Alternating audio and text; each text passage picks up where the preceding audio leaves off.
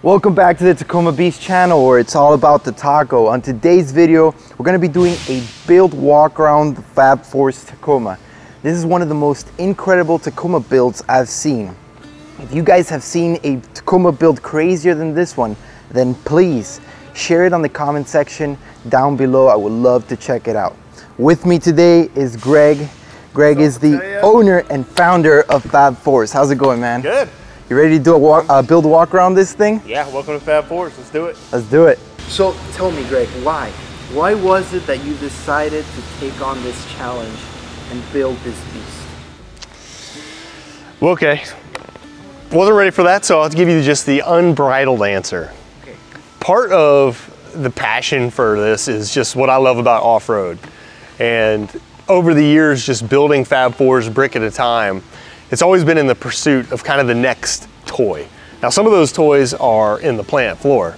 You know, the more capacity we have, the more it opens the doors for us to be creative in product development. And by that, I mean faster cutting lasers, you know, seven axis back gauge, LED quick change, press brakes. You know, those are big boy toys for production, but they're also just giving us a capability to let my mind go crazy. I mean, like you see in the tube doors we're gonna talk about here, you could ask 100 people to sketch a tube door for a Tacoma, they're all gonna look the same. They're gonna think, ah, tube door, I've seen those on Jeeps, and draw the same, over and over and over. I go tube door, you're gonna get some wild ass, unpredictable thing. And that's kind of what I love to do. I, you know, I wanna challenge people's imaginations and you see with the big Fab Fours builds, whether it be a Dodge Ram with a Viscount, a Grumper, or a totally tricked out Jeep or Gladiator, I get the testimonies from those customers that are like, man, I can't even pump gas. It can't go anywhere without people taking pictures, asking me, what is that? What in the world am I looking at? And that's what I love. That's literally the vision from the beginning is building big toys where it should look like something that would be in a sandbox. Yeah. So the proportions are a little off. It's enough to catch your eye and be like, wait, what size tires are those? Like, that looks ridiculous. Yeah. And, and as soon as I've made somebody ask that question, I feel like we've won. Yeah. Because now their uh, juices are flowing like, oh my gosh, that must have been so hard to do. And like, does it work? And what, what do you do? I love that dialogue. So in a way, all of what you see here, this 146,000 square feet, the last 20 years of my life, it's still in a pursuit of kind of that spark of energy that just puts a smile on people's face. Dude, that's awesome. And why did you decide to go with the Tacoma platform? Why was it that, is it, I've seen you build Jeeps, you build, I don't know what that thing is. it's a crazy Chevy Colorado. That's one crazy ride. What was it that inspired you to start with the Tacoma? Why the, the 2019 Tacoma? We already were doing development for products we needed. And at Fab Fours, one advantage we have is we buy every truck. So we don't borrow vehicles for test fits and things because it makes you cut corners. You know, it's such a hard thing to go get one, not damage it, borrow it. Once you put your prototype on and said, ah, man, I wish we could tighten up that face. Well, Fab Fours, we will walk in the door 30 feet away, redesign it, send it to the lasers. That afternoon, we can put another prototype on. Because we have all the resources in-house and own the cars, we're gonna get the perfect bumper. Well, we needed a Tacoma. I love the fact that those are like 40 grand for a super sweet loaded one.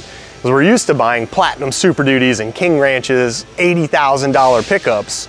This felt like a steal to get an awesome TRD, top of the line truck for, you know, mid 40s. Yeah. And when I did it, nobody realized what I was scheming, but there was a reason I got it in the manual. Because in the back of my mind, it's like, maybe we might build this. And if I did build this, there's no way I'm wheeling something with IFS because I'll break it. Yeah. So if I was gonna do a solid axle swap, I've been down this road before, all the wheel speed sensors and all the, the, the things that piss off a modern truck. You know, they're gonna throw it into limp mode, the transmission gets pissed. Everything that has a sensor on it normally gets angry if you're gonna do a build of this magnitude. Yeah. So since I had this in the back of my mind, found the 19 Taco, which is a little harder to find in a manual, just knowing that's one less system because it doesn't have sensors. Yeah. It doesn't care whether you're in first or third gear. We are just gonna have to deal with everything in the IFS. So that's why it was this truck. I really, really like to keep as much factory running gear as possible because I've done that stint with big motors, you know, big loping cams. You can put something sweet in a taco, but that all leads to gremlins. And I want something that's going to just work. So having a brand new, no miles truck with the manual, it had everything in the makings to become a taco that harkens back to my first truck because I just had the single case 4.7 gears in that old manual 83 of mine. Loved it, could go anywhere, felt comfortable putting it in crazy predicaments, but I've always been jealous of the guys that had the double transfer cases. When you do like a 4.7 and a 4.7, those guys can get out and walk next to that rig while it's on the trail. I've never had it, I always wanted it, so I kind of felt like all those years of pent up jealousy for those slow crawling rigs, yeah. it was coming together and, and I could kind of pork barrel it in to a project that we needed to have anyways for some of our product development. It was a perfect excuse. A perfect excuse. And that's all I needed. So I convinced our sales and marketing team, this would be a great rig, trust me. Yeah. Like the gearheads are gonna freak out for it. We're already strong in Tacoma anyways. We can get a double whammy. We'll have this thing for the big show, for Easter Jeep, and for SEMA. So let's go ahead and the fact that I had some donor parts, you're kind of getting a half price build because these are big tickets. I mean, this is easily a fifty to $60,000 build above the truck. But sorry to the, this is the Reaper, right? I'm unseating him. I'm gonna say this is now the baddest Tacoma on the planet. And you can't disagree, try. I mean, it's got everything from crazy interior, sound system, unbreakable, Dana 80 axles, 43 inch tires. You, you actually have someone that might be challenging this truck and it's, uh, I don't know if you've seen him on Instagram, Spartan X Taco. Are you familiar with that guy? Is it a real truck? Because I feel like I saw a rendering of a tan no, one. No, it's real. We actually ah, okay. It's, uh, it's called a $100,000 Tacoma. So uh, it's gonna be interesting to see those these two trucks go hand in hand, but uh, hey, up until this point, this one, this one is. That sounds like a call out to me. Oh, I'm in. Is this happening? Anytime, any place, baby. What are we gonna do? I mean, whatever you can do, I think I can do better because you got to go fast. She can go fast. I can still cruise down the highway at 65, but I doubt you going low, low.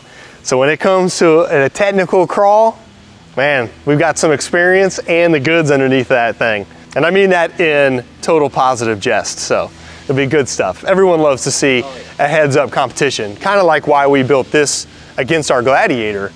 I mean, those are two super popular platforms for overlanding. Let's dig into the truck. Let's start talking about parts. What did you guys uh, go with for wheels and tires? Wheels and tires. So they're Dirty Life beadlocks because we needed to have a legitimate beadlock to be able to air down. You know, I love seeing a tire wrinkle and I'm a tire guy. I mean, if you look over my shoulder here, I've got 400 tires because that was a, a bucket list item of mine. I wanted to design my own tread.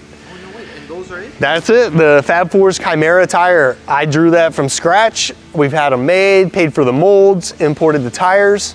You go back one SEMA ago, the Baja Pro X, they had one tire sitting in the booth. And that's their sticky version, the X version of this. Yeah. People went ballistic for it. And I said, look, you're taking a page out of my book. This is what you do. Like you have a $50,000, $80,000 booth, nobody cares. Everyone's walking to this one prototype tire because this tire just said there are no rules. We don't care. We're just gonna do something ridiculous. And people thrive on that.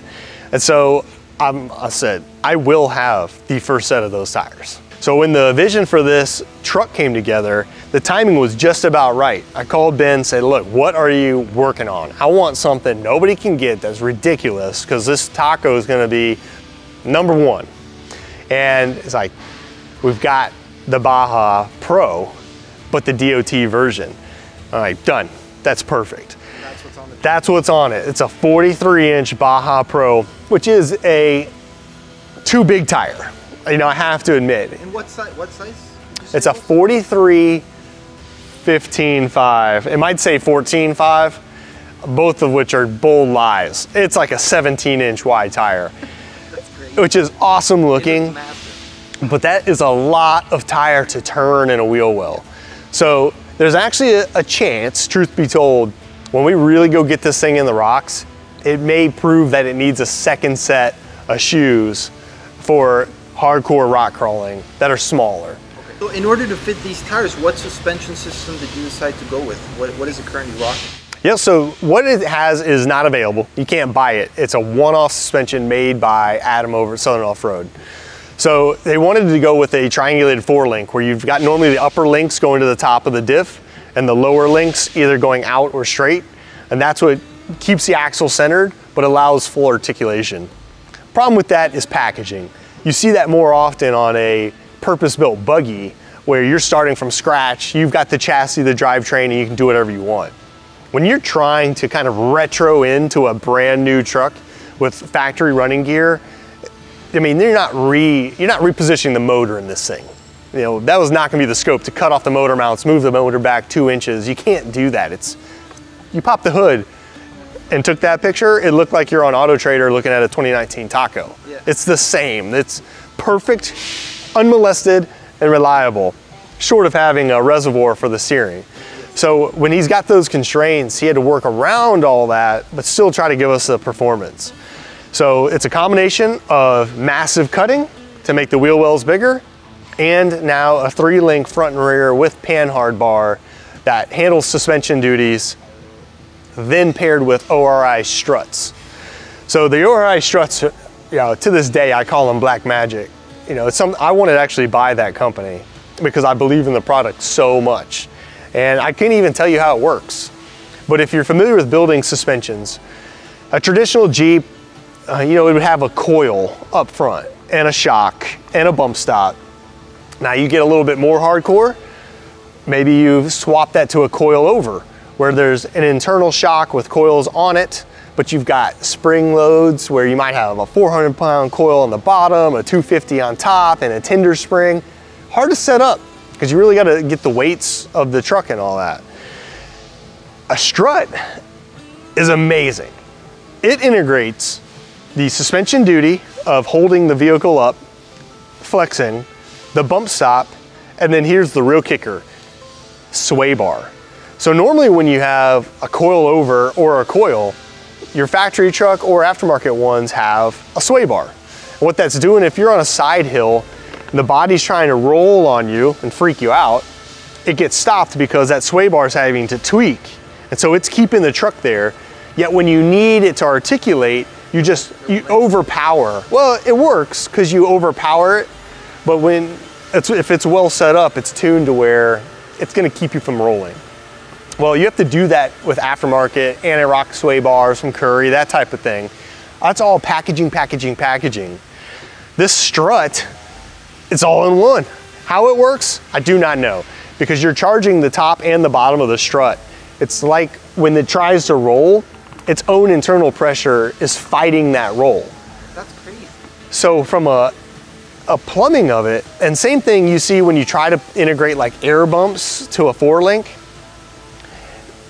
you're a lucky man if you've catted it properly to where when you take a jump and you land, the bump spots hit one spot but at the same time, when you're articulating and the axle does this, does that bump stop hit in the same spot?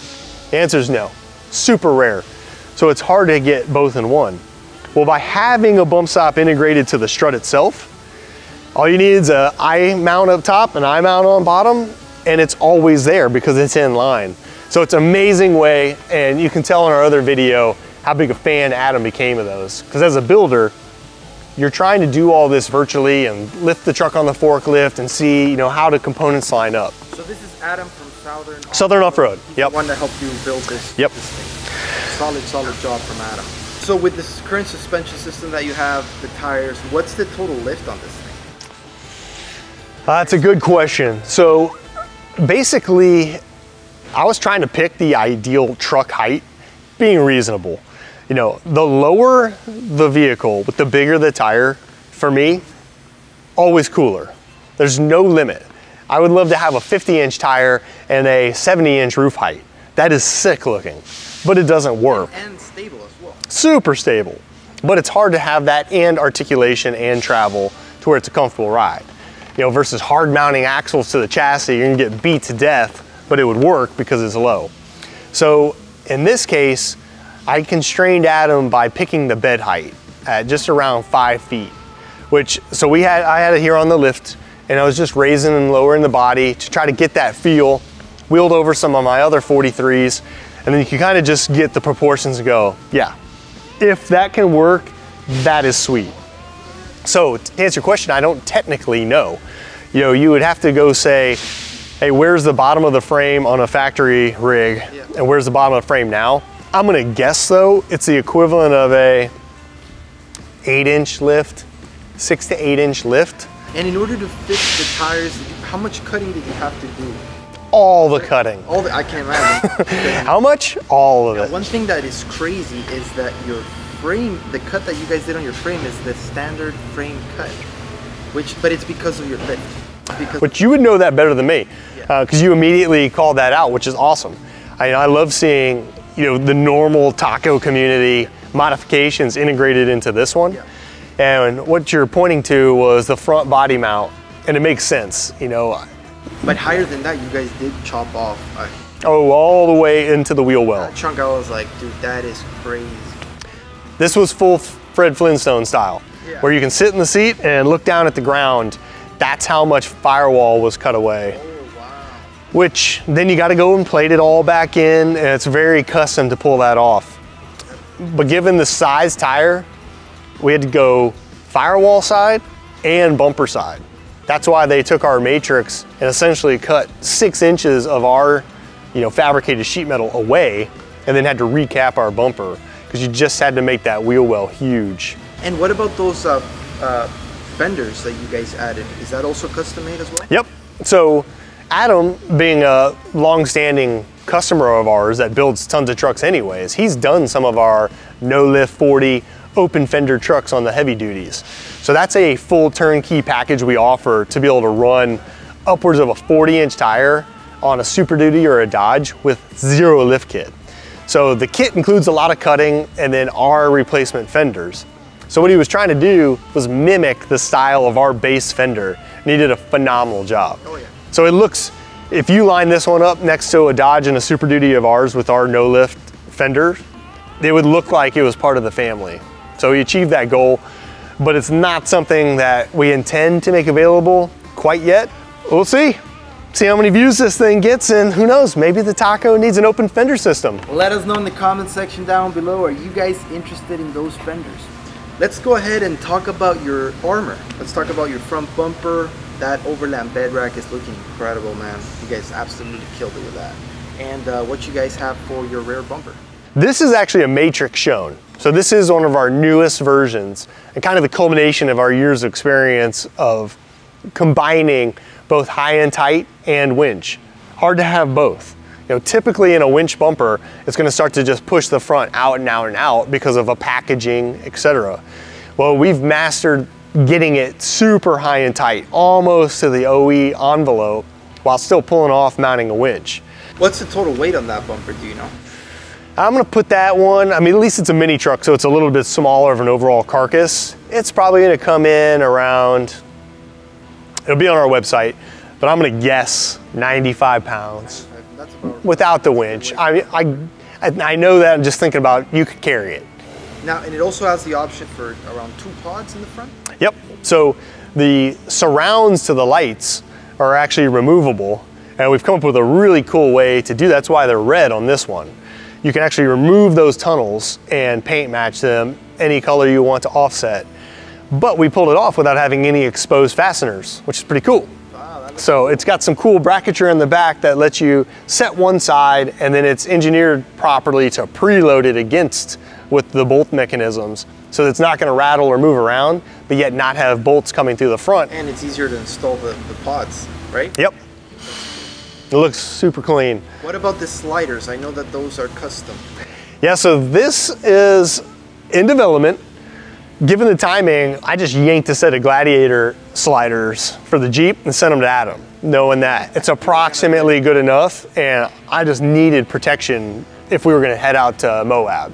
So we couldn't have all the development time, but we have to have something. The slider is critical if you're gonna go in the rocks because that's way too expensive a fix. I don't mind a little dent in the bed or something, but if you get into that door jamb, forget it. You know, door's never gonna close right. Sliders are critical. So we're gonna end up with two different versions, probably a bomber but inexpensive tube style slider that we've done for the Jeeps and one like this which is kind of a more integrated step with slider that can hold rock lights inside. But the, the rears are available. So again, we've got complementary rears for each one of those front families, a Vengeance style, a Premium. The Premium would go with the, the different Matrix fronts as well. And then the Overland rack. So the Gladiator is kind of what spawned that, you know, for us. Like we knew Overland was already gaining traction. The Jeep Gladiator was gonna take that to a new level where it could kind of have that uh, trophy, or the camel trophy look with the old limb risers. Well, Tacoma, right there with it. We know that that's gonna, it's huge already. You go to Colorado at some of those jamborees and overlands, you're gonna see a lot of tacos. Oh yeah. Because it's a great platform. And it had a bed before the Gladiator ever did. So if you're into that, you know, you gotta carry a lot of gear. And that's hard to do even in a traditional Jeep, inside in the back. So I think Tacoma's already had a real loyal following to that. And while there's racks available, not really our way. Our, we go robust. You know, when we build a rack, it's as bomber as a bumper. Dude, that Overland bed rack has enough space to put a pretty big uh, tent up there. Yeah, the biggest. The biggest. Yeah, I mean, they've made them now in a couple different lengths. So it's between a two person and a four person tent. This one can hold any of the tents that are on the aftermarket right now. That's awesome. From a length. It's looking really sweet. And it's got options to put two pods on each side, right? Yep. And there's some on the back. All right, let's move over to lighting. I know that you have a lot of rigid industries on the truck. You're right. It's rigids for all the cubes that you see everywhere, and then it's Pro Comp for the rock lights, Okay. which is pretty trick. Uh, even in the whole background here, I've got it on us circulating through all the colors, which is fun because I've never had the RGB lights. So I geek out over some of that stuff. And again, when Fab 4 shows up, I want you to know it when we're 100 yards away. So the base is your first cue. Like, wait, who is that? And then you look, you're like, what? What is that thing? And so that's phase two. Yeah. Now I've captured your imagination with the proportions are just out of control. And then phase three, once it gets close and you start looking, you're like the finer details and the nuances to the build. So lights, man, that's just bringing the party, particularly at night, obviously, and you've just got all the undercarriage, which is good for wheeling. You know, you want that visibility. But in this case, Adam gave me a surprise by the kicker speakers that are in this thing having LEDs also integrated. And I don't think he knew that till he plugged them in. but so now you've got the whole center console, all the speakers in the doors, and all the undercarriage rock lights are all on the same switch and RGB controlled by your phone so you can have purple, red, green, super cool. Then the rigids are the Radiance series. Smartest thing Rigid ever did. You know, for years I've been asked just from buddies and customers alike, like what light should I put in there? It's like, all right, here's the deal. One, we're made in the USA. I like US companies. You know, leave the cheap junk for the other low cost bumpers. Rigid's the way to go. You know, we want top brands. You got Warn Winch, Rigid Lights. These are the partners that we use all the time. But the problem with Rigid's super expensive. As are Fab Fours bumpers, you get what you pay for. It's got all the quality. Twice a year, you find yourself on some back road and you're like, yes, you turned my lights on that I spent $2,000 on. That's not enough. But the Radiance, what that basically means is they're backlit. So you can get them in red, blue, green, and yellow so that the pod, in our case, they're red backlit during the day. You can leave it on while you're in at a restaurant. It's awesome. You can't just be blinding everybody while you're sitting there in the parking lot. But having those backlit red is huge. And so I push everyone into the Radiance series that I can for that very reason. It's a light you can use every single day, not just those two times a year out in the woods. And when you need the white, they've got that too. Dude, let's move on to uh, your axles. Yeah. The one thing that makes this Tacoma absolutely different from every other Tacoma out there. What are you rocking for the axles? So those are Dynatrac Pro Rock 80 axles, which is just gnarly. Insane. How Insane. does each one of those cost? Well, the pair of them was a little over 22 grand, and that's with them helping helping a little bit too.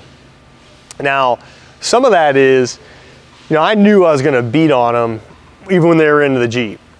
It's just the idea, like peace of mind, and it's just kind of cool to show people like that's the pinnacle of what the aftermarket industry has come up with. Dynatrac's got a long, reputable brand, and the Pro Rock series, which they have in a 44, a 60, and an 80, is kind of their cream de la creme. So this is the top of the top of the food chain from a big, robust ring gear, but then you're even taking that upgrade and upgrading it. So you see the big orange bells showing inside the C's at the, at the wheel ends. Those are RCV inner axle shafts. That alone is over a $2,000 upgrade, but they come with a lifetime warranty up to something absurd, like 50 inch tires and a thousand horsepower. You know, some, some insane numbers. Now you see that they've also got a PSC ram, so it's full hydraulic steering on the front, which the difference there, you know, the Toyota mini boxes, if you take an old school one that's got a steering arm, it was very common to port those to have hydraulic assist, which I think is pretty necessary once you start going above a 37 inch tire off-road. As you start airing down and get that contact patch on good traction ground, you will not be able to steer factory steering. It's just gonna whine and not turn. Well, steering's your pretty much number one tool at conquering an obstacle. So I love hydraulic assist, but assist is just more components to package. You know, you've got to get the box in the actual spot you need it on the frame so that the arm's in the proper location for the geometry. So now you've got a drag link and you've got a ram. That all has to go in there, work through the full suspension cycle. Now, if you're willing to risk the slightly less street legalness, AKA 100% not street legal, and jump to full hydro, packaging became simple. Now you've got to mount a little orbital anywhere up in the engine compartment that you can get the steering shaft to. Then it's all soft lines down to a ram, and that ram has all the power no matter what bind you get in to steer it. So it's a cool way to go, but you're committed. When you go full hydro, you're now, you know, you're not gonna roll up to the inspection station in Southern California and pass, most likely. But if you live in South Kakalaki and there is no inspections, no problem, because it's not like somebody's gonna see that and call it out. We were just talking about your axles. Putting those things on, I can't imagine what it did to your dashboard as far as it looking like a Christmas tree. How were you guys able, able to overcome that? Well, that again is the power of Adam and Southern Off-Road. So if anyone could do it, I knew it'd be him. We went into it eyes wide open. Every one of us knew that you're not gonna have wheel speed sensors. The ABS stuff's all gonna be pissed off. It's not gonna like any of it. So he had a guy that can get in, crack the computer, and find all those things. So that was our mission, to not have one dash light on. You know, not the little slippery ABS, nothing. And sure enough, there's not one light. So none of that works. You don't kid yourself. We don't have an ABS system functioning. But, you, but you're not really needing it. No, it's, I mean. What about the speedometer? That's another one. that I. Speedometer? Doing this thing, does your speedometer work? it works, but it is not accurate. It's a little bit off, I'm guessing, because of tire. Just tire size, you know. it's still, it's still moving around. So, yeah, I mean, come on, Adam. Can't get the speedometer right, but it's all right. I've self-calibrated to know using GPS in the phone, like, all right, 50 is actually 58. Just, Okay, so it's only off by like eight miles. yeah, it's not that bad. Okay, just like my Tacoma, actually. Nope. So that's not bad at all. Actually. But yeah, to have it fully functioning, not angry, and in no way in limp mode is pretty amazing. Because I want to commute in this thing every day down here on pretty weather. And you can do it, but you're getting some vibe that you can absolutely tell is wheel and tire driven. If it wasn't on that, so we're gonna run a second set of Fab Fours, 40s that can balance out. I promise you this thing's gonna ride as smooth as any Tacoma you've ever been in.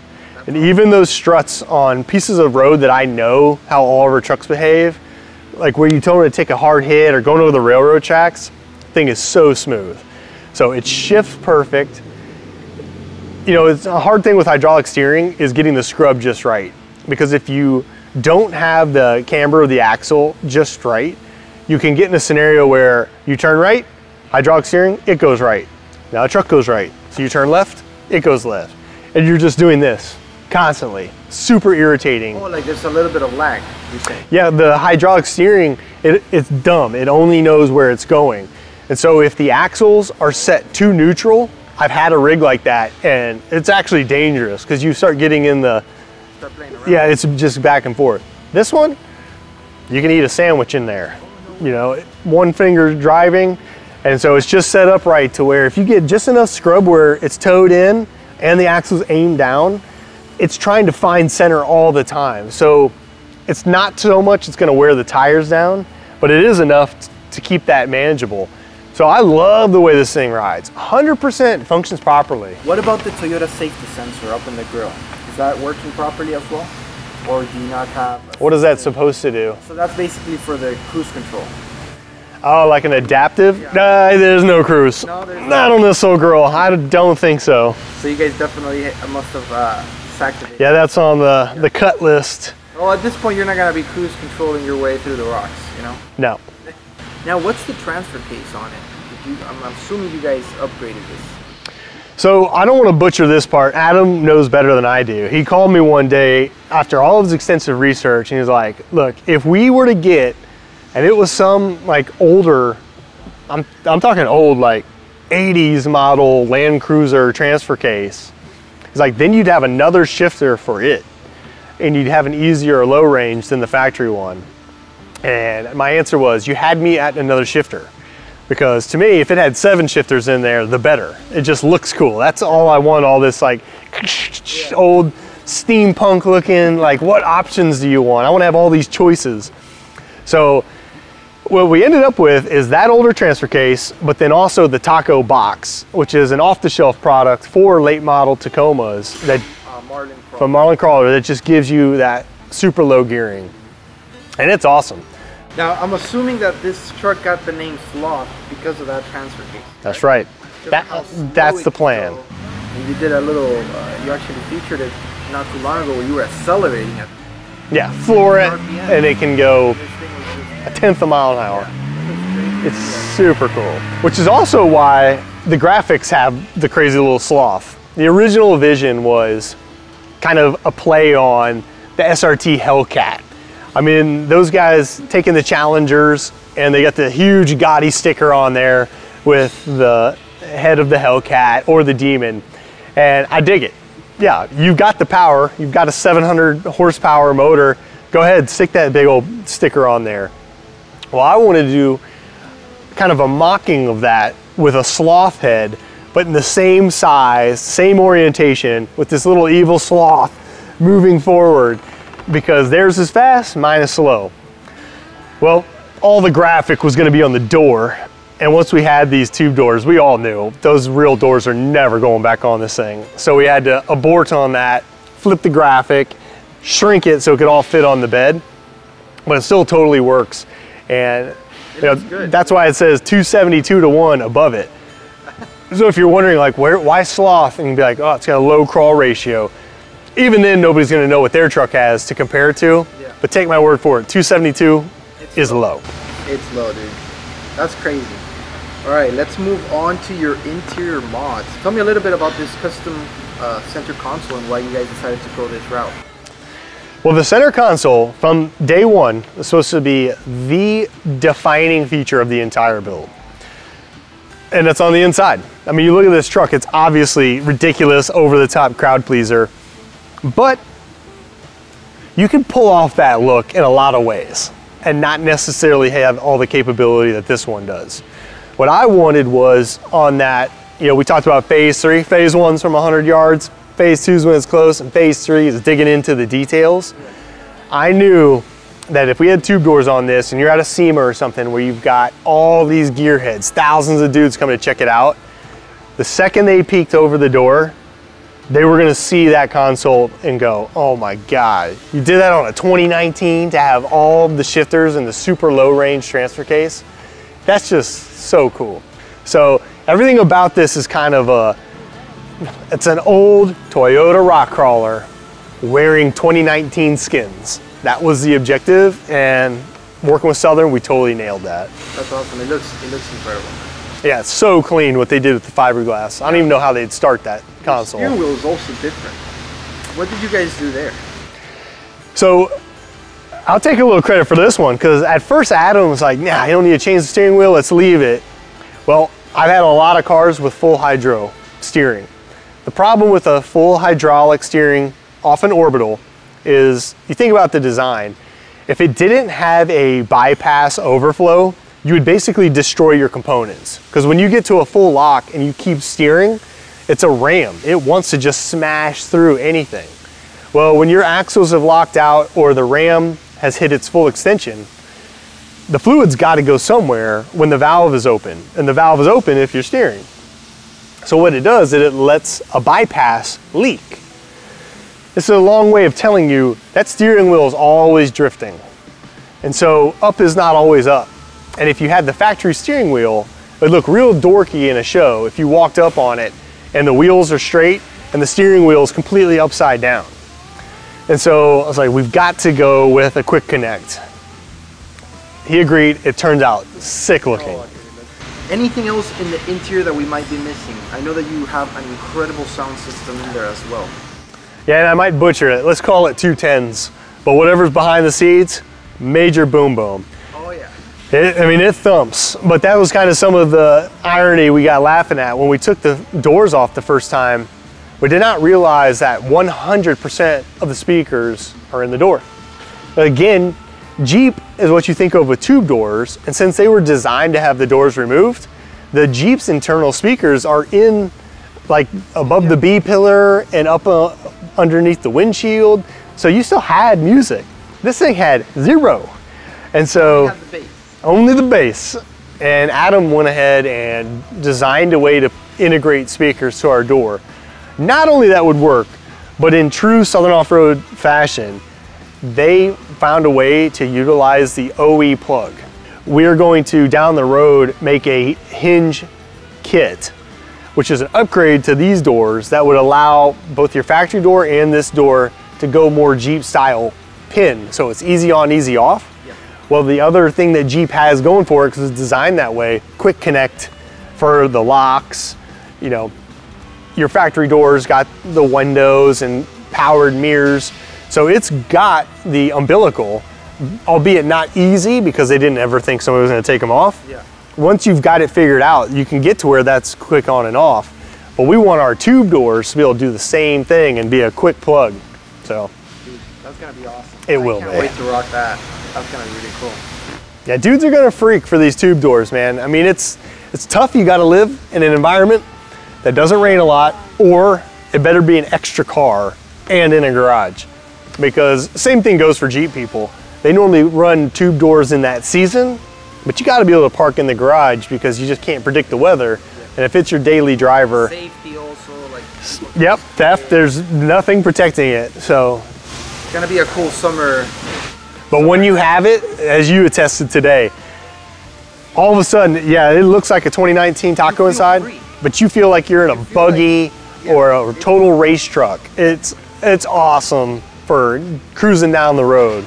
Power system and electronics. Have you done anything to it? Nope, Uh, not, nothing behind the, the amps. The S plug connected to the rock. Yeah, and it does have that. You're right.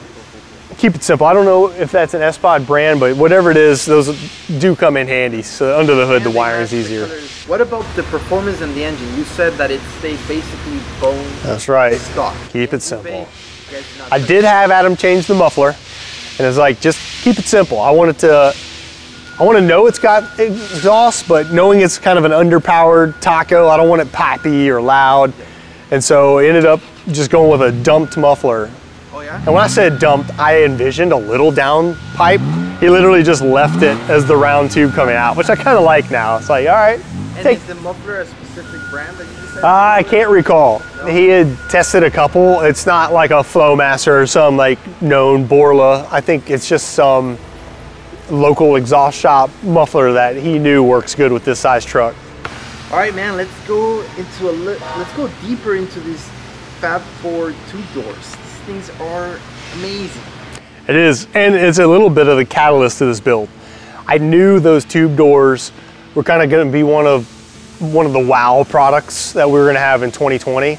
Uh, yeah, 2020's changed a little bit, and from a priority perspective, but that was another reason. Like, you know what? It's okay to go big on this build because it's going to be a platform to show these new doors. They're they're radical. I mean, like I said earlier, from if you had a whole bunch of different brainstorming, nobody was going to go this wild. So out of the gates, for the few you know trusted industry folks, um, we were putting it out there and saying, "Don't hurt. You're not going to hurt my feelings. I promise. Just tell me what you think. You know, lay it on me. Give me the honest feedback." And universally, 100%, people love it. So there was that, and then there's just been, you know, vendors in here. The snack machine guy, asked him, hey, what do you think about those? Like, those are ridiculous. Not once was somebody like, well, I'd rather have, you know, what you think of as a traditional tube door. Not one. It looks it looks like something out of this world, man. Yeah. And that's the reason I do things like that, like the Grumper we've had, these real polarizing products. I always want a love or hate. I'll take that any day over plain vanilla because look, there's a commitment to running these taco tube doors. Tacomas weren't built to have no doors. They're not built to have rain in on the carpet. You know, there's not a carpet delete on Tacomas because nobody's ever thought of it for that. So when you're into this, this is gonna be down to like the loyal, hardcore taco lovers, the guy that lives, eats, sleeps, breathes tacos. And for that guy who's already deeply passionate about his build, I want him to be either all in, like I will have those tube doors from Fab Fours come hell or high water. I don't care. Get me a set. Or somebody's like, ah, those don't even look right on there. Yeah. Like, then don't get them. Good.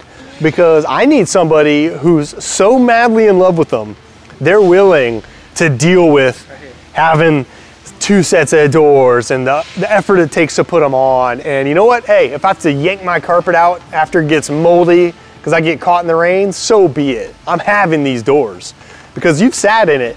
You can't go back. It Like feels like you're free. the experience of driving in them will now make all the detriments worth it. But you got to be passionate. And so that's where I like a pretty wild design that's a love hate. Come to find out, so far it's been love, love, love, love. But if you hate it, tell us because I'm curious. You know, I want to see a picture of your Tacoma and why you don't like these doors, and I can then make my own reverse judgments to see if you're qualified to give us your opinion. So that'll be fun to just kind of see, you know, what you think about this. Can you park it inside? Does your taco fit in the garage right now, or does it already have a tent? And so you're like, hey, I'd love it, but I got to park outside. What am I going to do? In the rain, I don't have security. It's something that you're gonna use like in the summertime. Yeah, I mean, if you live in Phoenix, You're good. you're good. You got all summer as long as, you know, from a security, yeah, it's still open. You can't leave your sunglasses on the dash, you know, because you park it to run into the mall. It's just sitting there. It's an open Tacoma. I mean, these doors you can reach over. I mean, there's no lock on it Like a anyways. Like it's the door of the Yep, Polaris. exactly. But it, again, it doesn't matter. For the whole list of cons that somebody can come up with, sit in it, drive it, and you'll say, I don't care if there was a thousand things on the cons. The pro is, I must have this. Yeah. I So. felt it, guys, and it was awesome. I need to get a set of these on our truck, especially to go out in Moab and just feel free. Yeah, and where you guys can help me out from a feedback in the comments, you know, I don't know the size of the market for guys that can actually legitimately handle this. Like that can park in the garage, that can deal with the weather, but you're out there. There's enough of you. but how many? Because the catch 22 is I've got to see the market adopt these doors before I can invest as a business that next phase of development because we're talking, you know, expensive molds or others to make this new hinge mechanism. Yep. But it's going to make the tube door owning experience that much easier. Because if you do it, you're going to have doors. Ours are sitting over there in a crate. Your factory doors, you're going to want to swap them. And if I can make that easier on the truck owner, that's just going to make it more accessible to more owners. But chicken and egg. I can't invest in that development if the total market for these tube doors in the world's 400 guys and I get all 400 are so hardcore they can deal with it anyways. But if if it's like I would do that if I could change my doors in 15 minutes. You know, give me a goal. Set a target out there and if we have something to hit and we feel like there's enough of a movement from these loyal taco guys, I have the means. I can make that door work that way. And we'll do it. We'll pull it off. If you're game, we're game. So don't forget guys, make sure to leave a comment on the comment section down below. Let us know your honest opinion on these doors. Yep, I can handle it. Give us the truth. And how long did it take you guys to build it to where it is today from the day you purchased the Tacoma up until now? I'd say tip to tail, he was about five weeks. So five weeks to build? Five weeks. And a lot of that's still waiting on parts. And oh, this little thing, uh, you might remember coronavirus. Yeah. So his main fabricator builder had actually gone overseas just to see his family and then the whole thing hit. And so he got stuck even getting back in the country and quarantined. And even then it was five weeks. Even then. Yep. Make, five weeks to build that thing. That's crazy. That's nuts. How much was the total cost with this thing? Would you be able to share that with us? What was the total cost?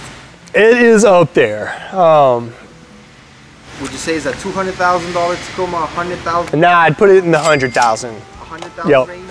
Like that Chimera, that thing got out of hand. You know, that started with, oh, I'm gonna save money and get these five thousand dollar axles. Well, it's nearly a, a quarter million dollar build. But it's a total showstopper. You know, this Tacoma, again, factory running gear. You know, if you dropped in a cammed out LS7 and a, I mean, it would be sick, but it would, you know, there's another $30,000. Do you plan to ever engine swap it at all? I hope not. I like the reliability of it, but we'll see, the you know. Could you. It could. And I admitted to you earlier off camera, I want it to be a little lower, I think, in the gearing. Oh, so we might see it So lower. it's 272 to 1 right now. I feel like I could handle even lower. There's just something about watching a tire on an obstacle move this fast. Yeah. Because what happens, just it's just wrinkling and you can just I connect with the tire. I love watching a sticky do its thing. It's almost like wearing, if you've ever been indoor rock climbing or done it with your body on the ropes, you know, you get the special solo shoes, they're real tight and you smear them on the rock and you can take the littlest crystal and get the traction to hold your whole body. Well, when a rig's out on the rocks, typically what happens, I mean, rock crawling, it's a great equalizer. It's gravity versus traction. Those are the only two components on top of driver skill to pick a good line. But what's getting you up that is can you put that traction to lift this weight? This is no svelte being with these big axles. I don't know what this taco weighs, but it's probably 5,000 pounds. You know, it's heavy with all that armor. So to put this on, if you didn't have that low gearing, you're gonna see somebody trying to get up it and it's gonna spin. Every time the tire spins, you've broken traction, you've given it away. So at that point, you're either in bumpville, where you're gonna back up two feet and your whole goal is to move the momentum, bump over the obstacle and embrace the spinning tires. Well, what I wanna do is just watch it work. I wanna see lug by lug, th thump off, thump off. Like, come on, baby. And you just give it the slightest turn because it's so controlled. Thump, thump, and you try a little left, thump, thump, a little right, thump, grab.